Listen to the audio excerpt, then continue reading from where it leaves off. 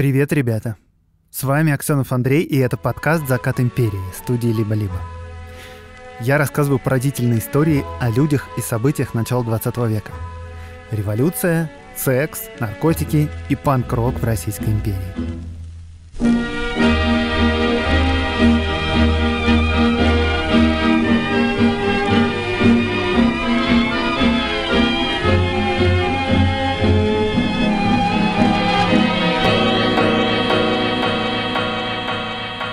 Октябре 1911 года в Саратове э, соседи заметили, что давненько что-то они не видели извозчика Ивана Кабанкина. Жена Кабанкина, Дарья, отвечала на вопросы вот так. Муж мой, мол, отправился в богомолье, возраст солидный уже, пора и о душе подумать. И то же самое говорил сын, 40-летний Тимофей, и жена сына. Но соседи им не верили. На улице считали, что Кабанкины были сектантами и принадлежали тщательно законспирированной общине бегунов-странников. О бегунах ходили жуткие слухи. И самый главный слух был о ритуальных убийствах, которые практикуют бегуны. В общем, неудивительно, что 18 ноября на пороге дома Кабанкиных появились полицейские.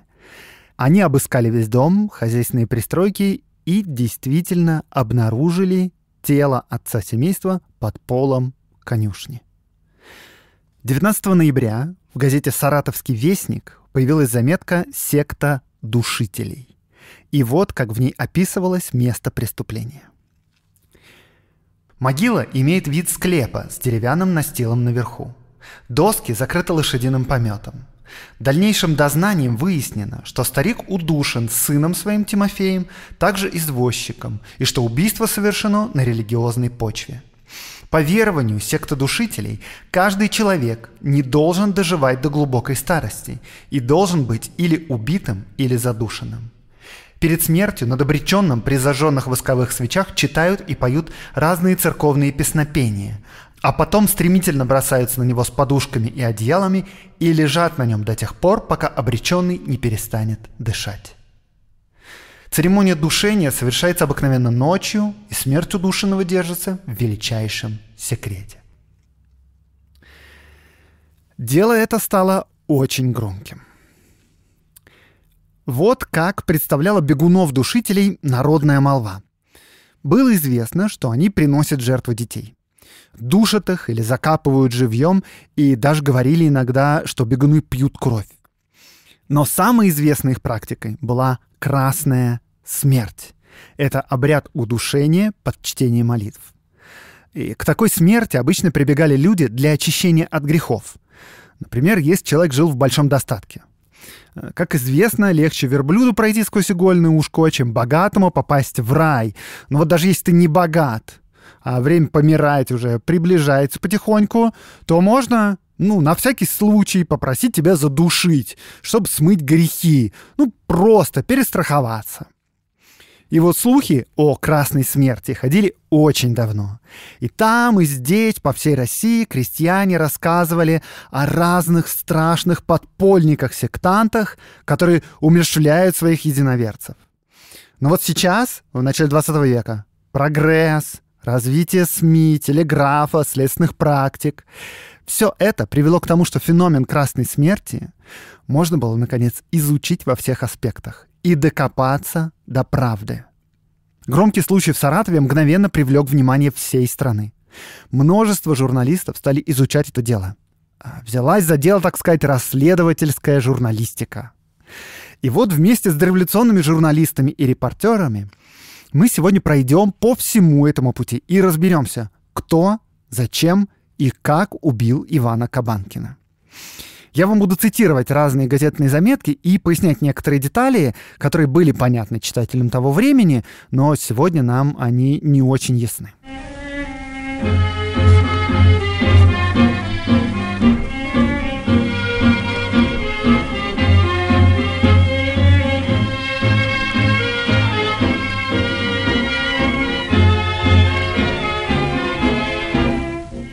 Первая заметка появилась 19 ноября я вам ее процитировал. И вот уже через три дня 22 ноября в уважаемой столичной газете «Биржевые ведомости» появляется заметка с тем же самым названием «Секта душителей». В основном она повторяет фактуру первой статьи, но добавляет некоторые детали. Во-первых, тело было найдено не просто под полом, а в склепе. Точнее даже в настоящей подземной молельне с подземными ходами. Здесь по стенам висели староверческие дониконианские иконы и лежали дониконианские книги. Это, по крайней мере, подтверждало, что семья Кабанкиных была старообрядцами. Еще в доме было обнаружено несколько лишних кроватей. По всей видимости, Кабанкиным регулярно приходили странники, которых хозяева принимали. И тут надо сказать, что читатели газеты под словом «странники» понимали не просто каких-то богомольцев, а конкретную секту странников, в просторечии бегунов. И имя это происходит от того, что последователи этого течения бежали от мира э, в метафорическом и в действительном смысле. Странники считали, что мир уже погиб, что миром завладел Антихрист. Все, страшный суд уже идет прямо сейчас. И любое соприкосновение с государством — это соприкосновение с дьяволом непосредственно. Получил паспорт, паспорт от дьявола. Пошел на работу, получаешь жалование, жалование от сатаны. Попал в армию, считай, в ад попал. Как же жить? Как спастись? Э, а вот как. Идеал жизни странника — это скитание по земле, вообще без соприкосновения с государством. И поэтому люди, которые готовы принимать у себя странников, давать им кров и еду, были очень важны для этой общины. И лишние кровати в доме Кабанкиных как раз говорят о том, что в доме, возможно, был такой перевалочный пункт или приют для бегунов. То есть мы загибаем пальцы сейчас. Старик задушен, чек.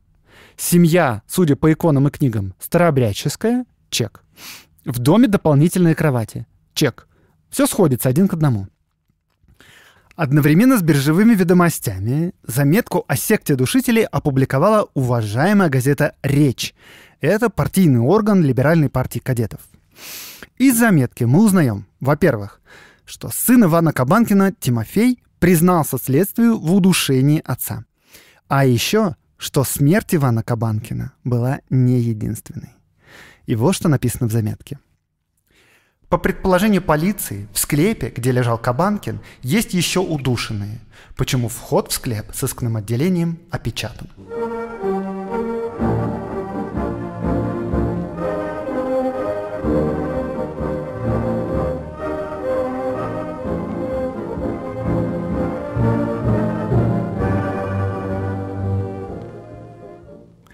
Газета, газета «Саратовский листок» взяла интервью у жены погибшего, и вот как она описывает религиозные воззрения семьи. «Мы были поморцы, перешли в подпольники, скрытники. Божья воля такая. Бог велит, и умрешь, и зароют по древнему обычаю у родного места. Старик мой привез эту веру в Саратов с верхов, из лесов от Керженца, лет 15 назад. Собираемся вот, молимся скрытно, таково Божье веление, и живем скрытно. Спрашивает у нее репортер. Детей крестите, молодых венчаете?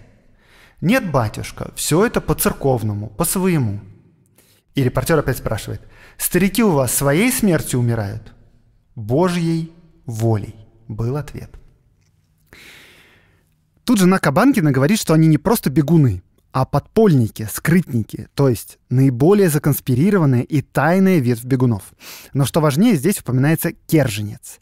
И это еще один важный кирпичик в расследовании. Керженец — это легендарнейшее место, очень важное для старообрядцев. Это река в Нижегородской губернии, на которой стоит множество старообрядческих скитов. Впервые это место описал этнограф Павел Мельников-Печерский, и его книги были довольно известны к этому моменту, то есть слово «керженец» в пояснении не нуждалось для тогдашних читателей. Это известное всем место и важное место для старобрядцев. Керженец появляется в заметках несколько раз. Например, вот газета «Астраханский листок» в заметке от 23 ноября приводит прямую речь жены Кабанкина. Первоначально родственники говорили, да, что глава семейства ушел на богомолье. Но Астраханский листок уточняет, куда именно якобы ушел глава семейства, по словам его жены, ну, когда еще тело его не было найдено. На вопрос, где муж, Кабанкина ответила, ушел на моленье к Керженцу в леса, к святому граду земли Керженской. Также Астраханский листок в подробностях описывает подземную молельню Кабанкиных. Под двуспальной кровати супругов обнаружили дверь в подпол. Дарья Кабанкина утверждала, что это погреб для картошки. Но, однако, никакой картошки там не обнаружилось, а обнаружилось довольно просторное полуподвальное помещение с окнами во двор.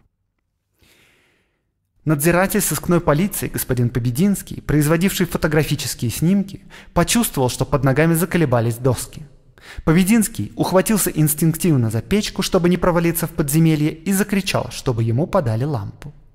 Вынули одну доску, и открылось другое потайное подполье, которое оказалось как раз под печкой, высотой в сажень и шириной около двух сажен.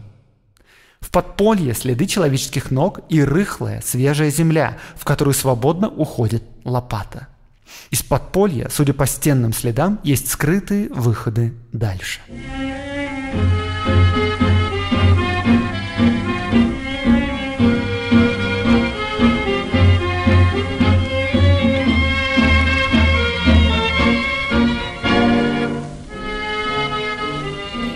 Но дело не закончилось на одном только этом событии. Убийство Ивана Кабанкина явно было только одним из примеров довольно известной и довольно массовой практики.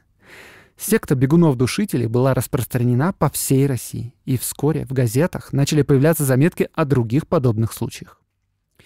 Уфимский вестник 14 декабря 1911 года в статье «Красносмертники» рассказывает, что в тюрьме в окрестностях Горного Зерентуя некий Никандр Тураев в собственной камере задушил 9 человек и в суматохе при обыске сбежал.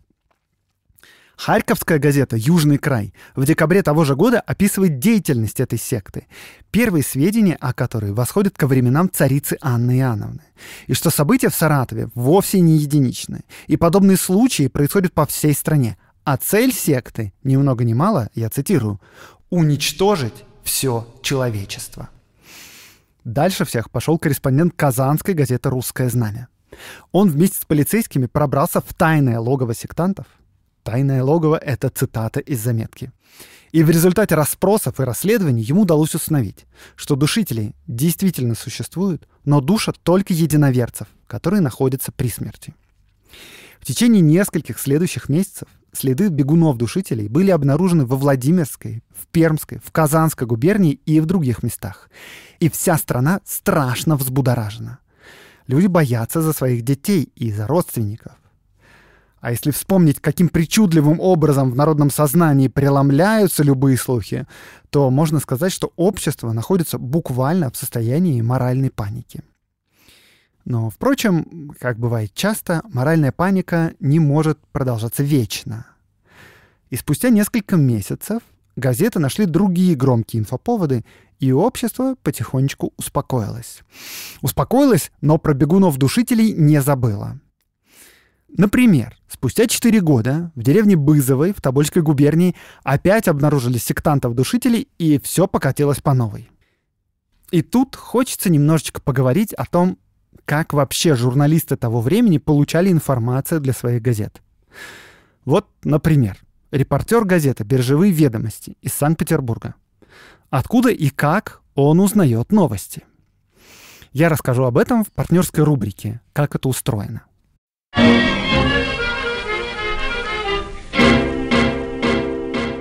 У этого подкаста есть партнер, ведущий в России провайдер облаков и IT-инфраструктуры Selectel.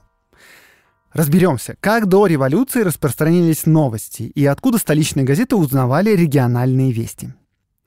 В основном рынок новостей занимали столичные газеты. Столичные, я имею в виду петербургские и московские. Но региональная журналистика была развита тоже очень неплохо. В стране существовало несколько крупных региональных изданий, которые читали и в столицах. Например, тот же самый Харьковский Южный край. У серьезных газет, например, у «Нового времени» или у тех же биржевых ведомостей, существовали собственные корреспонденты за рубежом, но вот в регионах их не было или почти не было. Поэтому, по сути, роль региональных корреспондентов для столичных газет выполняли, собственно, региональные издания. То есть столичные репортеры просто читали свежую региональную прессу и рерайтили новости. И вот вопрос, насколько свежая пресса им была доступна. Газеты доставлялись обыкновенной почтой. Но сегодняшняя почта не чита дореволюционной. Письмо, отправленное утром, приходило к получателю тогда, если он жил в том же городе, уже вечером того же дня. Из Москвы в Санкт-Петербург письма доходили за сутки. В регионах столичные газеты появлялись с опозданием на день-два, и в другую сторону это работало точно так же. Самые важные новости от собственных корреспондентов прислали с помощью телеграфа. И до сих пор сохранились издания с именем, например, Daily Telegraph. Это значит, да, что информация в этой газете самая свежайшая, пришедшая по телеграфу со всего мира. И иногда, кстати, бывало даже такое, что наиболее важные статьи или даже целые номера газет передавались телеграфом. Например, еще во времена правления Николая I важнейшие европейские газеты присылались в Петербург с помощью телеграфа. Их печатали в столице на телеграфных лентах, наклеивали на бумагу и давали читать в таком виде высшим лицам империи. Кстати, я тут задумался, нет ли тут нарушения авторских прав, интересно. ну ладно. Но, да, но телеграф все-таки довольно дорог, и для обычных известий его не использовали. И вот, если мы посмотрим на даты публикаций про Красную смерть, то можно понять, что столичные газеты начали писать о секте душителей после того, как в столице приехали экземпляры саратовских газет. Сегодня скорость доставки контента перестала иметь какое-либо значение. Если вы подключены к интернету, то ваша информация достигнет любого уголка планеты практически мгновенно. Ну, то есть, если этот уголок, конечно, тоже подключен к интернету. И сейчас скорее большее значение имеет надежность и бесперебойность работы интернет-СМИ. Компания Selectel, вместе с которой я делаю эту рубрику, позволяет создавать любую инфраструктуру для проектов, и в том числе для медиа. Например, инфраструктура Selectel позволяет хранить безлимитное количество статей, фото и видео, а также обеспечивает мгновенный доступ к контенту для пользователей из любой точки мира. И развернуть такую инфраструктуру можно буквально за пару минут из панели управления. Даже самые хардкорные выделенные серверы по индивидуальным требованиям собирают за срок от 1 до 5 дней. Узнать больше о сервисах партнера подкаста вы сможете по ссылке в описании. А следить за новостями IT удобно в телеграм-канале Selectel. Подписывайтесь на него, ссылка в описании тоже.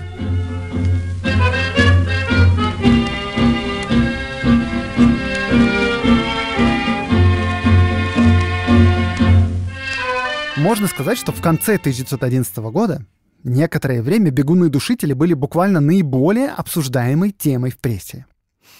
Но самое страшное в бегунах то, что они ничем не отличаются от русских православных. Они же тщательно шифруются. Они ради конспирации даже могли в церковь входить, могли в обычные школы отдавать детей. Вот возьмем евреев, да? В этом же самом году, в 1911 в газетах гремит дело Бейлиса о ритуальном убийстве православного мальчика, у которого евреи якобы выпустили всю кровь на Пасху. Но евреи-то они отличаются от русских. Они одеваются по-другому. Они живут в определенных местах. Они ходят в свои синагоги какие-то. Фамилии у них другие, они вообще разговаривают на другом языке. Или вот, например, за 15 лет до этого было громкое такое мултанское дело, где крестьяне-удмурты из Вятской губернии обвинялись в человеческом жертвоприношении. Ну и удмурты отличаются от русских. А тут, да, ты не знаешь, откуда ждать подвоха. Вот ты отдашь дочь замуж за соседа, а сосед как окажется бегуном, и дочь твою и внуков твоих задушит. И общество, да, всегда настороженно относится к чужакам. Оно их не принимает. И нужно действительно обладать каким-то все-таки интеллектуальным багажом, чтобы не бояться, когда твои соседи намаз, например, совершают. И веками да, общество справлялось с чужаками двумя путями. Или общество старается их ассимилировать, или отчуждает чужаков в гетто. Но что делать, если чужаки ничем не отличаются от своих? Это самое страшное. И именно поэтому в стране настоящая медиапаника, которая чем дальше, тем больше подпитывается просто невероятными подробностями. Если вы помните, несколько лет назад родители по всей России начали паниковать, что их дети в школе играют в синего кита в игру, которая заканчивается самоубийствами. И новая газета даже выпустила что-то вроде расследования, которое посеяло невероятную панику. Родительские чаты в WhatsApp просто были заполнены ужасами и предостережениями о группах смерти ВКонтакте. И игра в «Синего кита», если вы не знали, оказалась фейком. Ну, то есть в том смысле, что ну, не нашлось связи между самоубийствами подростков и разными сообществами ВКонтакте, которые посвящены «Синим китам». Никакой такой особенной игры в «Синих китов» не существовало. А вот как насчет истории про Красную Смерть?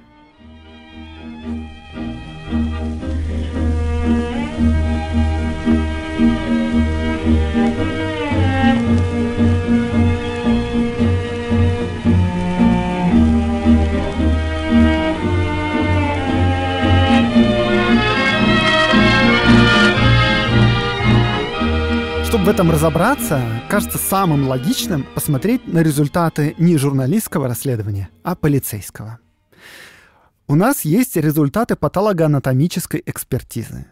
И эта экспертиза была сделана буквально на следующий день после обнаружения трупа. И чтобы вы думали, экспертиза не нашла никаких признаков насильственной смерти, не только удушения, а вообще любой смерти. Старик Кабанкин умер от старости. И на этом можно было бы закончить вообще выпуск, потому что к тому моменту, как уважаемые столичные газеты «Биржевые ведомости» и «Речь» опубликовали свой материал о секте душителей, уже было известно, что Кабанкин не был задушен. Ну тут ладно, да, допустим, временной зазор небольшой. Заметки в столичной прессе были опубликованы через три дня после обнаружения тела. Возможно, по простой почте не успели дойти сведения. Но вообще все равно можно было отправить просто телеграмму в Саратов и проверить, как там что, перед тем, как публиковать. Но нет, этого почему-то не сделали, а сделали даже совсем наоборот. Потому что давайте-ка вспомним о разных подробностях, о которых писали газеты. Помните, например, несколько газет написали о подземном склепе и тайных ходах, ведущих в него? Так вот, как бы нет. Иван Кабанкин был просто закопан под полом конюшни. Никакого некрополя или склепа, тем более с какими-то ходами, там и близко не было. Откуда же газеты взяли эти подробности, может быть, спросите меня вы? Да Бух его знает, откуда. Э, скорее всего, это просто пересказы каких-то слухов и разговоров. Вот эти вот, да, все подробности о том, как надзиратель сыскной полиции по фамилии Побединский обнаружил под кроватью тайный ход, это все выдумка от начала и до конца. Хотя написана она и читается как прямо репортаж с места событий. Но это не репортаж, это пересказ слухов. За все это, конечно, мы справедливо осуждаем дореволюционную прессу. Ну и это еще не все. Мы тут вспомним, что кое-кто пошел даже дальше художественных пересказов слухов. Напомню, газета «Саратовский листок» опубликовала прям-таки прямую речь жены Кабанкина. А вслед за ней еще газета «Речь». А потом «Астраханский листок» перепечатали это интервью. И там вот шел разговор про Керженец, про то, как они перешли в подпольники. Так вот, это прямая речь тоже выдумка. Никто не брал никаких интервью. Ну, то есть, да, как? Почти наверняка это выдумка. Почему я уверен, что это интервью выдумка? Да потому что легендарный вот этот староверческий керженец не имеет никакого вообще отношения к странникам-бегунам. А почему он упоминается? Потому что это просто самое известное в обществе место, где живут староверы. А известно оно благодаря книжкам писателя Мельникова-Печерского, который это место и раскрыл а про другие места, которых много, в обществе не знают. И поэтому журналист что думает? Скажу слово «керженец». И сразу, знаете, в уме у читателей возникают деревянные дома в три этажа в лесной где-то глуши, и старики такие с развивающимися бородами, верхом на мамонтах, которые душат всех родственников, и мамонтов душат тоже, и себя потом душат. Да, кстати, речь еще писала о том, что сын Кабанкина Тимофей признался в убийстве. Это тоже не соответствует действительности ни на йоту. Просто вы представьте себе, столичные, уважаемые газеты, региональная пресса. Во-первых, они перепечатывают друг у друга материалы, не проверяя. Во-вторых, пишут якобы репортажи с места событий, которые на самом деле не репортажи, а просто художественный пересказ слухов. И в-третьих, они еще и выдумывают интервью с женой покойного. Просто фантастика. Фантастика, кстати, в прямом смысле слова.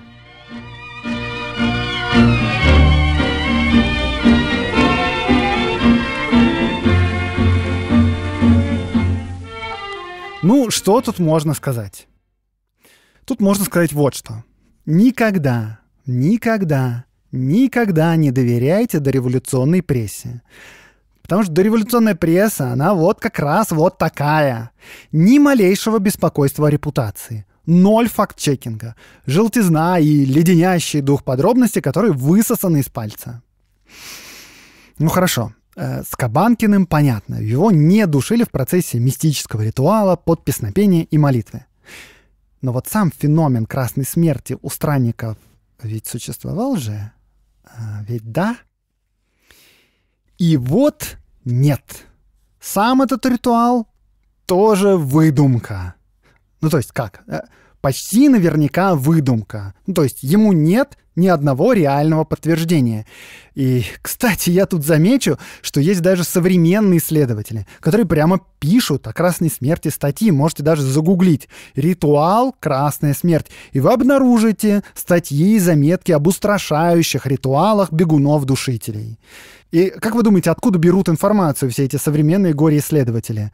Ну как откуда? Из дореволюционной прессы и из этнографических интервью крестьян. Вот откуда.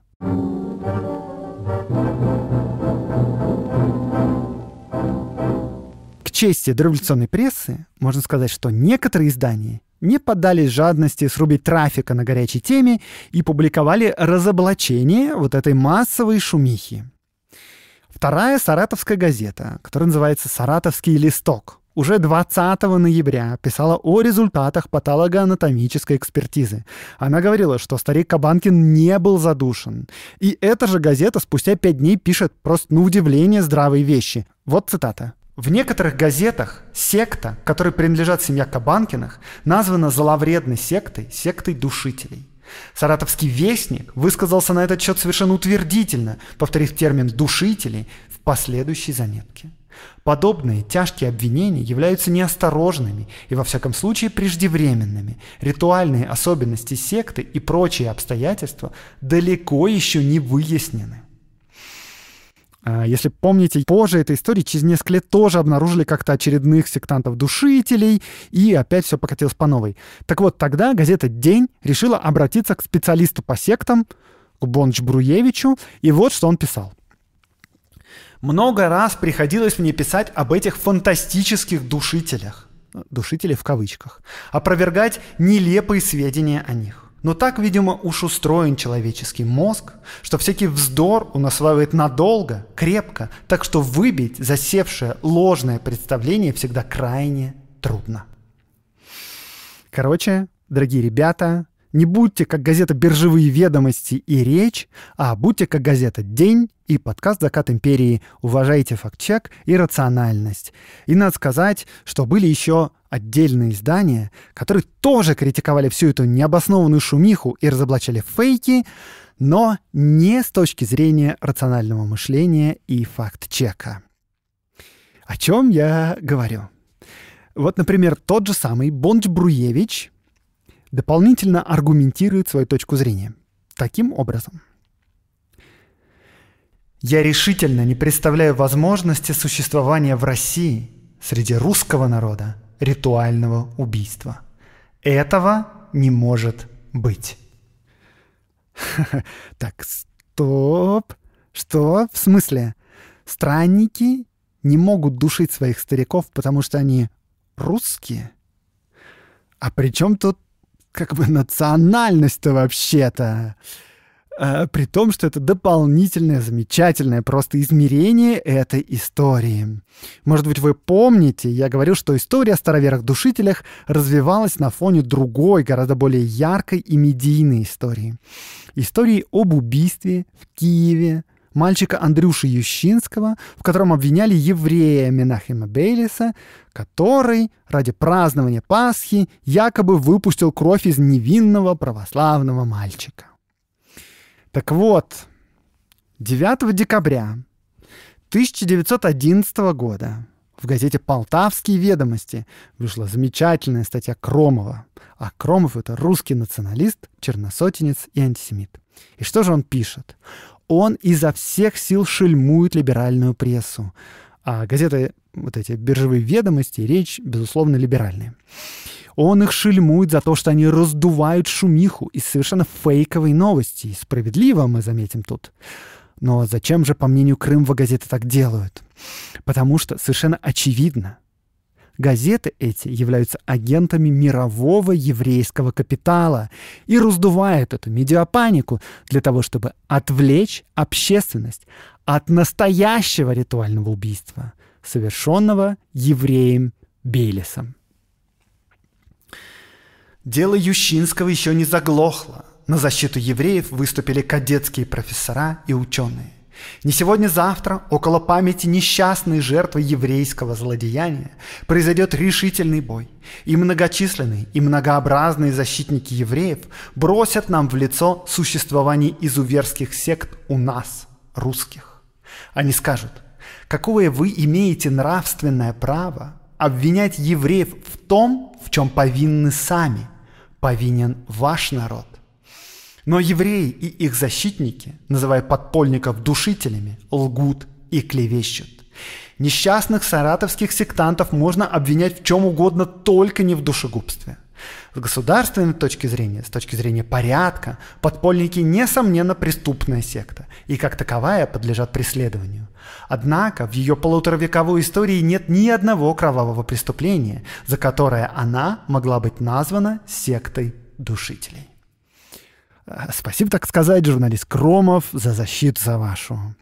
То есть вы поняли, да? Это всю шумиху раздувают специально, чтобы отвлечь нас от настоящего ритуального убийства. Чтобы сказать, а, вот вы говорите, что евреи убивают, а вы посмотрите на себя, вы же тоже сами убиваете. Нет, мы сами не убиваем, а евреи как раз убивают.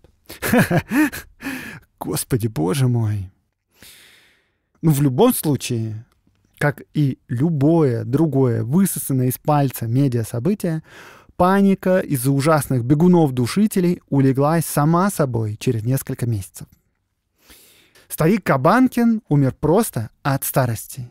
И сын закопал своего отца под полом конюшни, а не похоронил по-православному, потому что семья их не была православной. Они были старообрядцами, и они не хотели просто лишний раз соприкасаться с государством, чтобы не взять на себя скверны.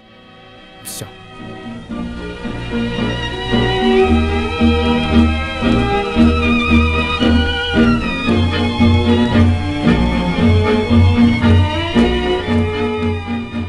Опять рубрика «Чтобы послушать». Э, хочу вам порекомендовать. Нашел я недавно новый исторический подкаст, который называется «Сегодня в прошлом». Это короткий ежедневный подкаст о событиях, которые происходили в этот день когда-то давно. Каждый выпуск занимает всего минут 10, и за это время вы узнаете несколько коротких историй. Что только в мире не происходило, иногда просто удивительно. Послушайте подкаст, по-моему, очень милый. Ссылка в описании этого выпуска.